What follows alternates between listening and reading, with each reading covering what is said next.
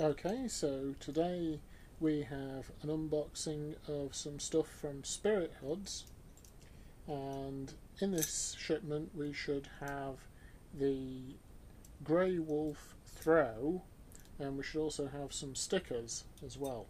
So let's get to opening it.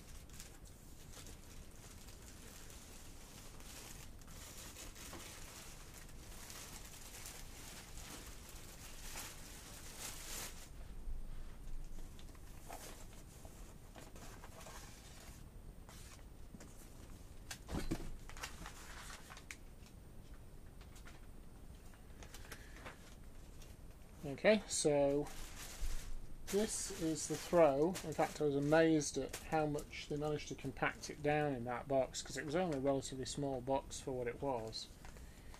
Um, and also in the box is this bag here, and inside of that is just a little SpiritHoods bracelet thing there. That's pretty good and also we've got a couple of SpiritHoods stickers there.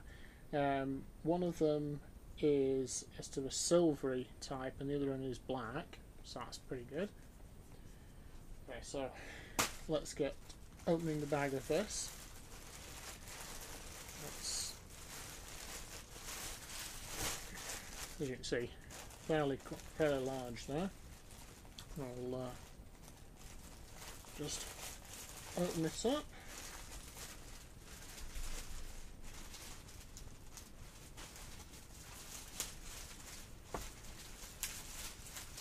Nice resilient uh, plastic bag there to keep any moisture out when it's shipping, you know, if the box gets rained on. So that's a good thing. Get that out. And so there we go. There's the fabric itself and here is the SpiritHoods logo and card um, stating about their giving back to endangered animals charities which is really good. Uh, so this one is 10% net profits uh, that's sent right back to endangered animals charities. So that's really good. Uh, something I must stress this is all faux fur. There is absolutely no real fur in it because that would be highly against my both my ethos and the ethos of this company that makes these things. And here is the inside, and you can see the pattern there, and it's really nice material as well. And there is, as always with their uh, products, the little secret pocket there. So and again that's all the same material there to make the pocket which is nice. And the characteristic SpiritHoods button as well. Well their logo is certainly characteristic. They have a few different buttons that they use on different things as well.